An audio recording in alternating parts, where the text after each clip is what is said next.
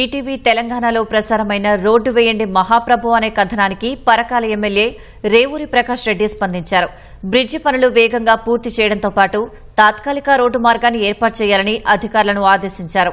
వరంగల్ జిల్లా సంగెం మండలం నార్లవాయి ముమ్మిడివరం గ్రామాల మధ్య వర్షానికి కొట్టుకుపోయిన మట్టిబాటను ఎమ్మెల్యే రేవూరి ప్రకాష్ రెడ్డి పరిశీలించారు. కొత్త వంతెన నిర్మాణ పనులు చేపట్టి పక్కనే మట్టిబాట వేగా ఇటీవల కురిసిన భారీ వర్షాలకు కొట్టుకుపోయి అటుగా వెళ్ళే ప్రజలు వాహనదారులు తీవ్ర ఇబ్బందులు ఎదుర్కొంటున్నారు. విషయం తెలుసుకున్న ఎమ్మెల్యే వంతెన పనులను పరిశీలించి మట్టిబాటను తాత్కాలికంగా ఏర్పాటు చేయాలని అధికారులను ఆదేశించారు. వర్షానికి కొట్టుకుపోయిన రహదారి విషయంలో అధికారులు చూపిన నిర్లక్ష్యంపై చర్యలు తప్పవని ఎమ్మెల్యే హెచ్చరించారు.